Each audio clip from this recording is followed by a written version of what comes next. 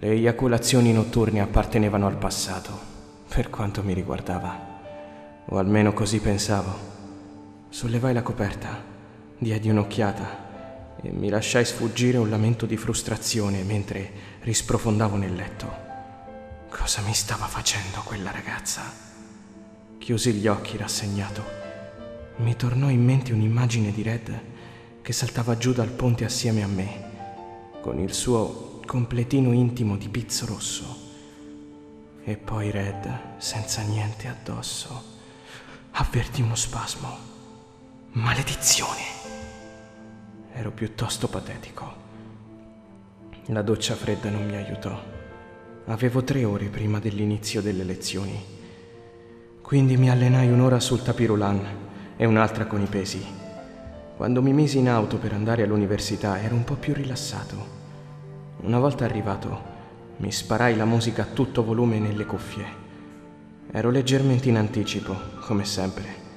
Di solito mi fermavo a parlare con i miei amici.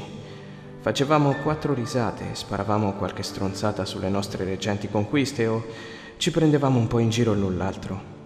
Quel giorno però non ero dell'umore giusto. Mollai lo zaino sul pavimento dell'aula.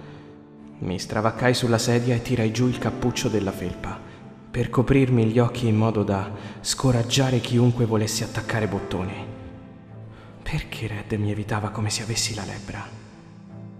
L'avevo incrociata per l'ultima volta qualche giorno prima e gli avevo detto che non sarei stato capace di farmi da parte un'altra volta.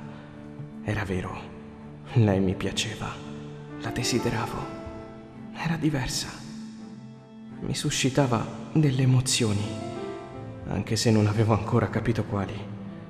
Mi piaceva pensare di conoscere bene la psicologia delle ragazze.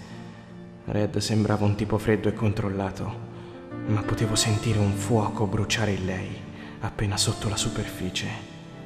In alcuni momenti, quando avevo premuto i tasti giusti per far breccia nella sua aria apparentemente distante e trattenuta, piano piano quel fuoco si era trasformato in un incendio indomabile.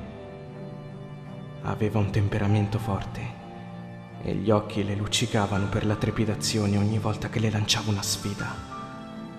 Tuttavia, non avrebbe ceduto aggrappandosi al suo autocontrollo come a un'ancora di salvezza. Il destino gli aveva servito una brutta mano lasciandola senza casa e senza soldi. Si era costruita un'armatura per proteggersi. Io volevo essere quello che l'avrebbe scalfita lentamente, fino a scoprire la vera donna che c'era sotto.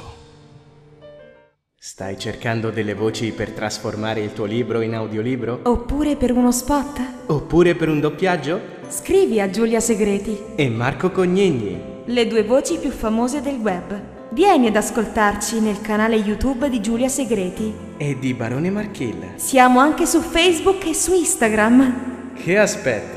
Dai voce alle tue emozioni. E ricordate, è, come, vedere un film ad occhi chiusi.